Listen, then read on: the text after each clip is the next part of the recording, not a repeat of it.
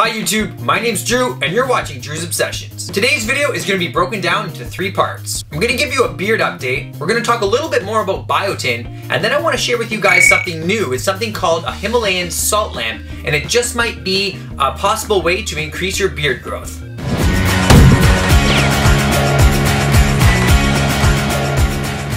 It's day 119 of my 365 day beard growing challenge. And as you can see, it's starting to look a lot bigger, especially since my last video. I'm gonna show you a little bit from the left side first. As you can see here, it's uh, the densest side of my face. It's starting to come down quite nicely and fill in a little bit, especially down at the bottom here.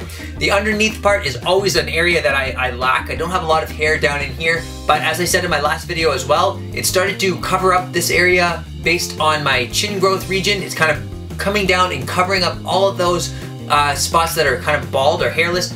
And then on my right side here, you can see that's my weaker side of the face. It's uh, kind of the hair goes in a different direction. I've also noticed that it's kind of, you can see it noticeably that this side is actually a little bit higher on my cheek than this side. This one kind of starts a little bit lower and uh, therefore it kind of gives the illusion that it's not quite as full. But I think from most people's perspectives, it looks pretty good. But I think the area that I'm most proud of right now is my mustache. Yes, it's crazy and it's starting to get in the way, especially when I'm eating. Pretty much at any time of the day now, whenever I have food, I have to double check right afterwards because I always have stuff caught in it. I find that it's almost like a sponge whenever I have anything to drink. My mustache is coated and often will like retain water for quite a while and you'll get drips uh, especially if you're eating things like hot dogs where there's mustard or ketchup in there, it's a write-off. It's gonna get embarrassing. Okay, so let's start talking about biotin. And yes, I know I've talked about biotin before in my other video. Uh, it's right here if you haven't checked it out yet.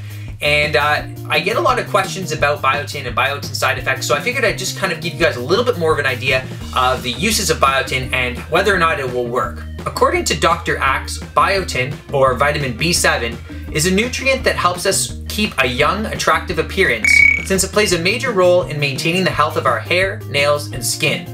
So does that mean you need to be taking a biotin supplement to help your hair grow faster and thicker? The answer is kind of yes and no.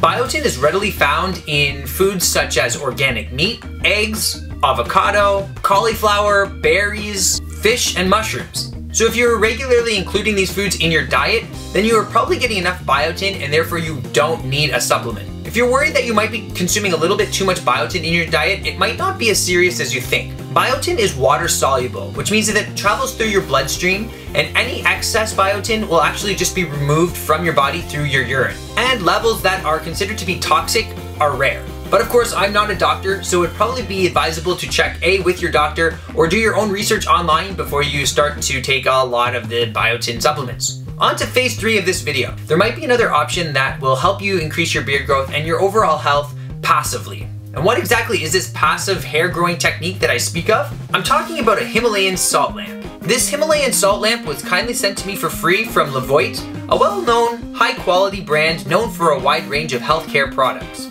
And since it was sent to me for free, I'm going to just stick to the facts so that I can be as unbiased as possible and let you guys decide whether or not you think this might be uh, worth getting for yourself. After doing some research, I found that authentic Himalayan lamps are made of ancient crystal salts. They're pink due to minerals contained in the salt.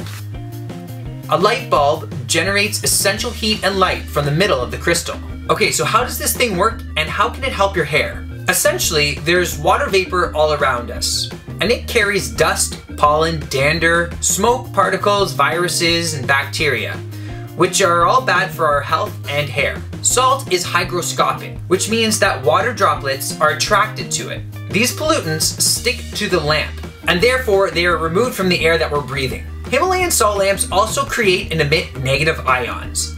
According to CarrieDawn.com, everyone's hair carries a positive electric charge that is caused by dryness. Over time, this charge increases. And as your hair becomes drier, more hair cuticles will open, causing ragged, unhealthy hair. Now apparently using a hairdryer will counteract these positive ions. It does seem a little strange to me that using a hairdryer, which is meant to dry your hair, will actually have a negative effect on the dryness because it emits negative ions. I don't know exactly how it works. What I do know though is that a lot of people rave about these things, so I might as well give it a shot. I'll definitely keep you guys updated as to whether or not I think this thing is working and actually helping my hair or whether or not I feel any kind of benefits, whether it's hair related or just health related. And if nothing else, it does look really cool and it seems to have a nice warm, calming effect. So let me know what you think in the comment section below. Would you use one? Now if you'd like a chance to win your very own Himalayan salt lamp, make sure to hit that subscribe button because in the next little while I'm going to be having a contest where you guys can win a Himalayan salt lamp directly from Levoit. If you enjoyed this video, please give me a thumbs up. I really appreciate it. And don't forget to hit that subscribe button so you can follow my 365 day beard growing adventure. Thanks for watching.